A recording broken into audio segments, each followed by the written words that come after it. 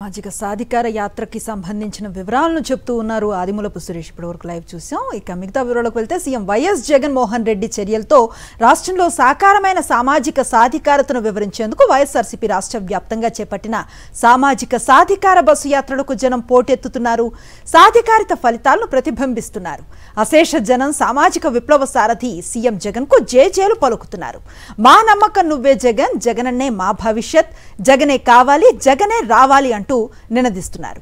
యాత్రలో భాగంగా పలు చోట్ల బైక్ కార్ ర్యాలీలు పాదయాత్రలు నిర్వహిస్తున్నారు. నియోజకవర్గాల్లో యాత్ర సందర్భంగా నిర్వహిస్తూ ఉన్న సభలకు పెద్ద ఎత్తున ప్రజలు కదలి వస్తూ ఉండటంతో సభా ప్రాంగణాలు జనసంద్రాలుగా మారుతున్నాయి.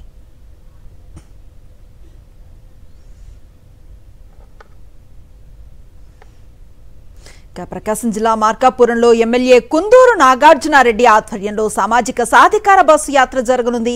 మధ్యాహ్నం మూడు గంటలకు వైఎస్ఆర్సీపీ శ్రేణులతో కలిసి పిల్లల పార్క్ మీదుగా కంభం సెంటర్ వరకు పార్టీ నేతలు పాదయాత్ర చేరున్నారు.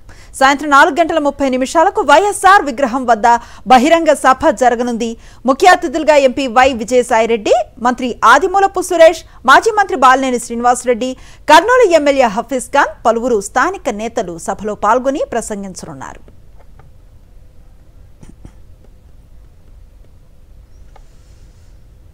విశాఖ జిల్లా గాజువాక ఎమ్మెల్యే తిప్పల నాగిరెడ్డి ఆధ్వర్యంలో మధ్యాహ్నం పన్నెండు గంటల ముప్పై నిమిషాలకు సభ ప్రారంభమైంది. మింది గ్రామంలో నూతనంగా ఏర్పాటు చేసిన వైఎస్ఆర్ అర్బన్ ప్రైమరీ హెల్త్ సెంటర్ను ప్రారంభించారు వైఎస్ఆర్సీపీ నేతలు. అనంతరం టీఎన్ఆర్ కళ్యాణ మండపం నుంచి పాత గాజువాక వరకు భారీ ర్యాలీ నిర్వహించారు. సాయంత్రం నాలుగు గంటలకు పాత గాజువాకలో భారీ బహిరంగ సభలో మంత్రులు సీదిరి అప్పలరాజు ధర్మాన ప్రసాదరావు బొత్స సత్యనారాయణ పలువురు ఎమ్మెల్యేలు స్థానిక నేతలు పాల్గొనున్నారు. ఎవరూ చేయలేనటువంటి ఈ సాధికారత అనేటువంటిది సాధించింది మన ముఖ్యమంత్రి జగన్మోహన్ రెడ్డి గారు.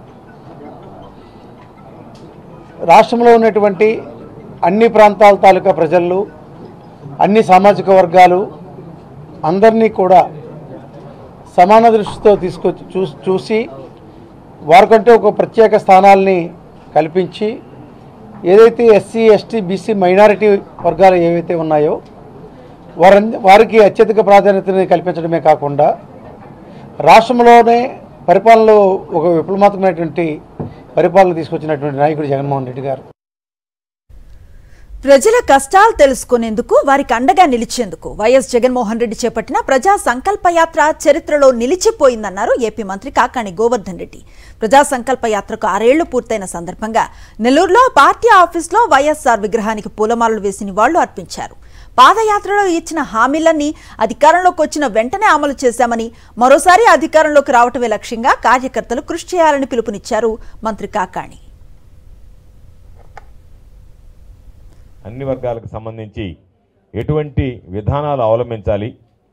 భవిష్యత్తులో ఈ ప్రభుత్వం అధికారంలోకి వస్తే ఎటువంటి కార్యక్రమాలు చేపడతాం అనేటువంటి దాని మీద స్పష్టతనిచ్చి అధికారంలోకి వచ్చిన తర్వాత అన్ని రకాల అన్ని వర్గాలకు ఇచ్చినటువంటి ప్రతి హామీని నిలబెట్టుకుంటున్నటువంటి ఘనత రాష్ట్ర ముఖ్యమంత్రి జగన్మోహన్ రెడ్డి గారిది అని చెప్పి చెప్పి ఈ సందర్భంగా తెలియజేస్తున్నాను.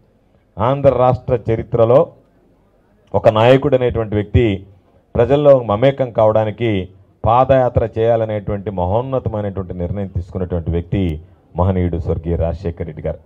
రాజశేఖర రెడ్డి గారికి ముందు ఇంత పెద్ద ఎత్తున రాష్ట్ర వ్యాప్తిగా పాదయాత్ర చేపట్టినటువంటి నాయకుడు లేడు.